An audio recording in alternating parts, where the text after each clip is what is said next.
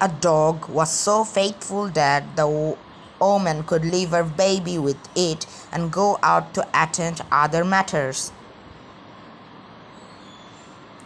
She always returned to find the child soundly asleep with the dog faithfully watching over him. One day something tragic happened.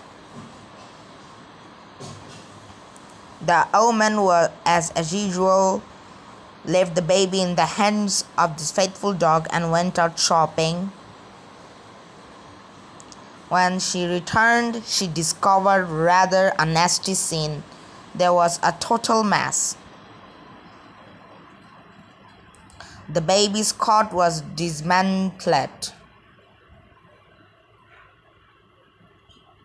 His nappies and clothes torn to shreds with blood stains all over the bedroom where she left the child and the dog. Shocked, the woman wailed as she began looking for the baby. All of a sudden, she saw the faithful dog emerging from under the bed.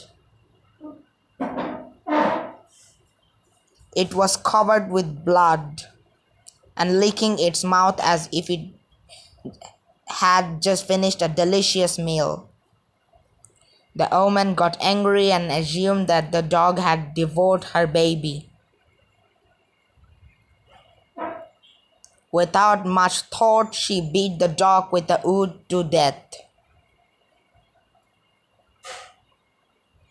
But as she continued searching for the remains of her child, she beheld another scene.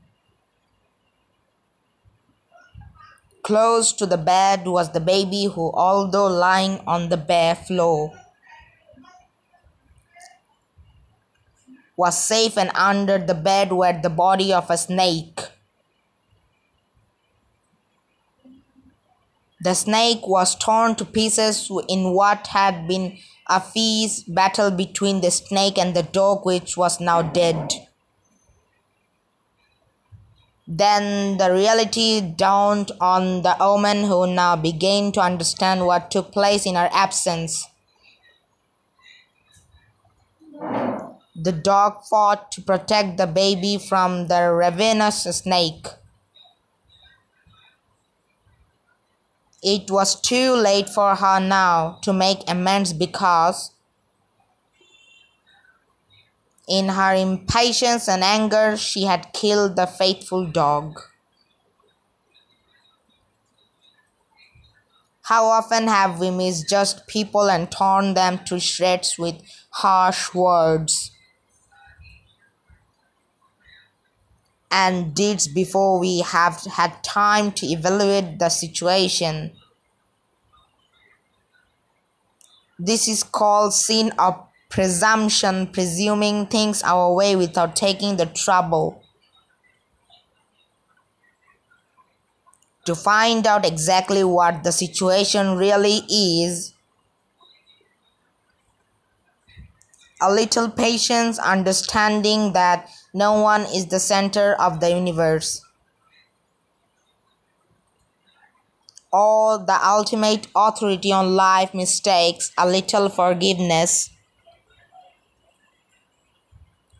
some minor communication and drastically reduce major lifelong mistakes.